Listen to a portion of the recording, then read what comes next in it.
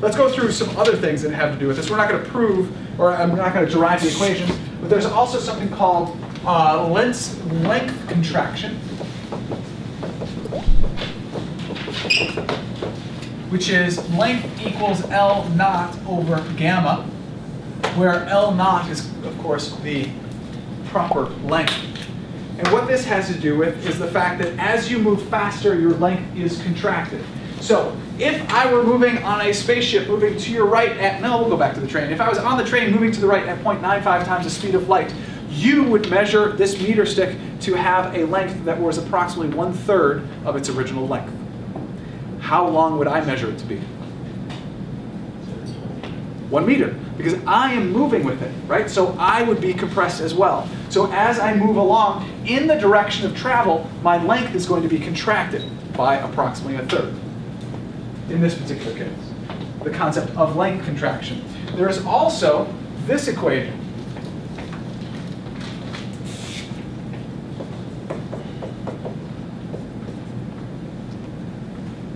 One of the most famous equations in science. Who's seen it before? Uh-huh. You've never seen it, Abigail. Interesting. Never seen it. Please tell me what all the letters stand for, Con energy, mass, mass and the speed of light squared. This is called the mass energy equivalence principle, the idea that energy and mass are one and the same thing. They're two sides of the same coin. Energy is mass, mass is energy. The speed of light class has a magnitude of 3.00 times 10 to the 8th meters per second. And then we're going to square it. It's a pretty large number, agreed? Therefore, there is a lot of energy stored in a little amount of mass. There's a pretty famous example of this, some famous bombs, right? Where basically they were able to take the idea that if you can convert mass to energy, you can have a large energy explosion, the atomic bomb. Okay. Unfortunately, this equation, as written on the board, is not quite right. They're missing a naught. It is actually E naught, which is called the rest energy.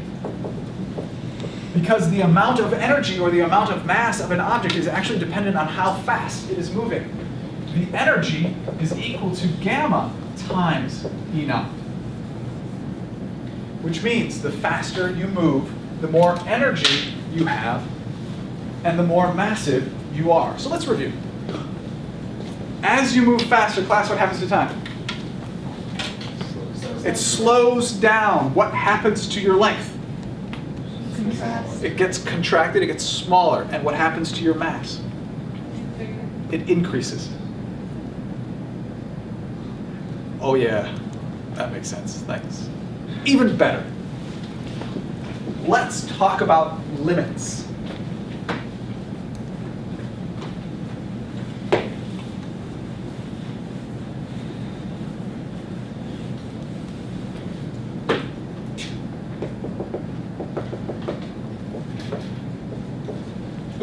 As velocity, as the speed of the object approaches the speed of light. Let's just start with, let's say, for example, that the velocity equals the speed of light.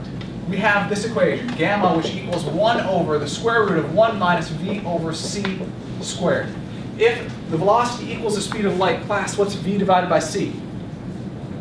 Try that again. Class, what's v divided by c? 1. What's 1 squared? 1. What's 1 minus 1? Zero. What's zero squared?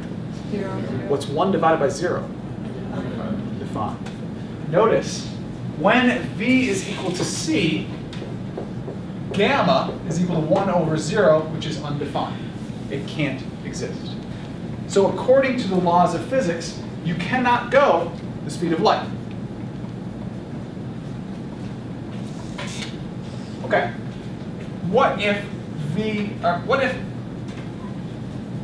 v approaches c. What if the velocity approaches c? It's just a little bit smaller.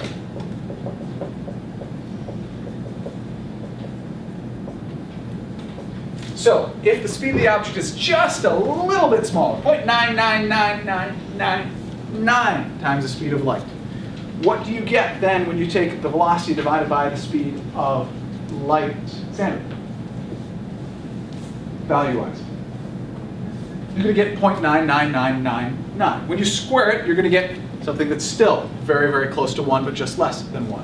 What happens, class, if you take 1 minus 0.99999? What do you get? A very small number, 0. Point however many zeros. Okay, we're going to square that. It's still a very small number, agreed? What's 1 divided by a really small number? A very large number. Okay? So in other words, as the velocity approaches the speed of light, gamma approaches infinity. Okay, let's talk about what that means. If gamma approaches infinity as you get closer to the speed of light and time slows down, this means that if you were able to reach the speed of light, time would stop. In addition to that, what would happen to your overall shape? What would, the, what would you, the object, be shaped like? Donahoe? It'd be really, really small. Ah, but I need more than that. I agree with that, but I need a little bit more. A better, just, uh, say again? Actually, that's not quite correct, because remember, length contraction is only in one dimension. So you would shrink one dimension down. Yes? Would you just be like You would be a flat plane.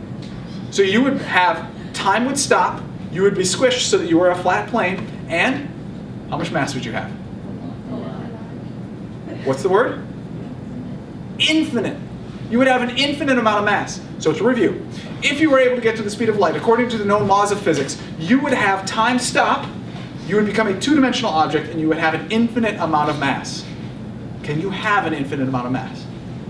No. In other words, the speed of light is the universal speed limit.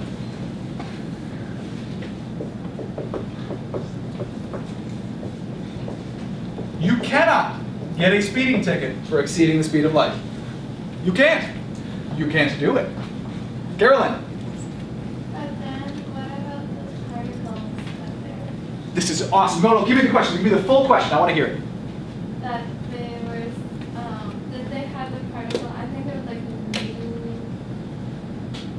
something on, Uh-huh. Mu on. mu on, Mu mu on. on, that was traveling at faster than the speed of light. Right, at the Large Hadron Collider, they, the Large Hadron Collider, they some had some results published in uh, early, late last year, which showed that they had some particles moving faster than the speed of light, and it made national news, right? Like, as I'm sure you all realize. Yes, absolutely. National, it did actually make national news, right? You know what didn't make national news? The fact that they found a wire that was loose, and that was.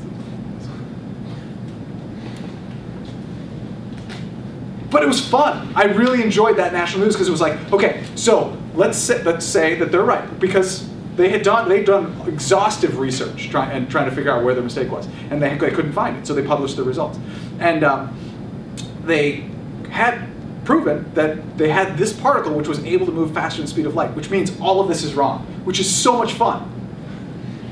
Because if we're wrong, that means that there's something else that's right that's more interesting than this. I think this is very interesting.